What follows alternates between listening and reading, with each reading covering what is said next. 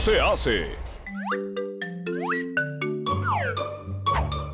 ¿Cómo se tira al aro? Yo lo sé. Me aburro. Bueno, está bien, no lo sé. Pero Olímpica sí lo sabe. ¡Olímpica! Hay varias maneras de tirar al aro, pero todas se logran con mucha práctica. La más fácil es el tiro libre, que es como patear un penal en el fútbol. Primero hay que colocarse en la posición de lanzamiento y tomar la pelota con ambas manos. La pelota debe salir desde la frente, no desde atrás de la cabeza.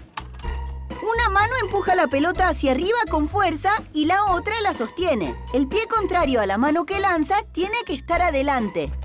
Al mismo tiempo, hay que flexionar las rodillas y saltar un poquito en el momento en que soltamos la pelota para darle más impulso.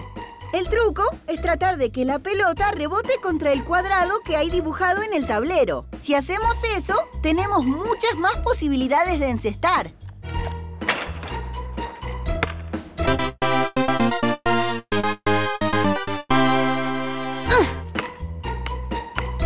Ah, pero Olímpica es más alta. Así cualquiera.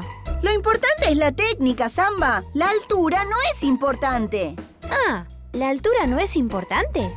No, siempre debemos recordar que la técnica está por sobre las aptitudes físicas. La práctica, la disciplina y la perseverancia son muy importantes porque... ¿Eh? ¡No valió! Ah, ¿no era que la altura no es importante?